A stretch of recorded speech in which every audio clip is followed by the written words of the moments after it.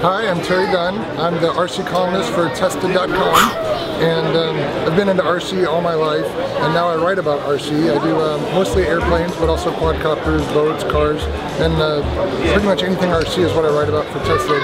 And this is a project that I did for the website, and uh, if you're familiar with the movie Airplane, this is um, a creation based on the box art from that movie.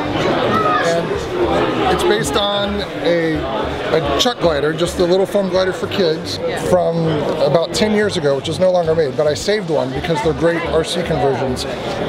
And to make the knot, I got a pool noodle, tied it in a knot, and grafted it to the front. So although it looks like a Boeing 757, you kind of get the idea. And uh, it's very simple, uh, two channel, or excuse me, three channel control.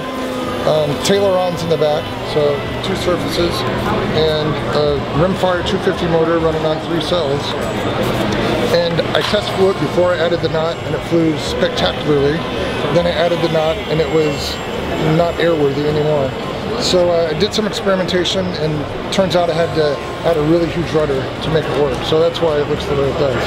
But it's a caricature of an airplane, and it flies well enough, and people get a kick out of it. They sure do, yeah. I'll bet after we put this online, we see more of these in the air. You think? Yeah. That would be great.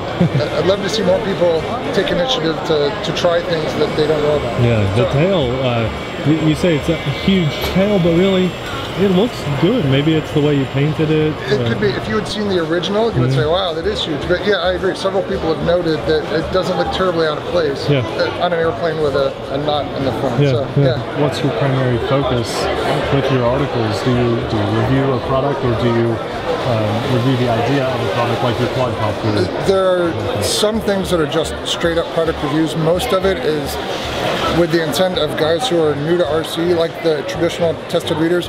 Here's what it's all about, and here's how you learn. So I'm taking a teaching role more than anything. Okay, so you're really trying to get more people involved into the hobby. Right.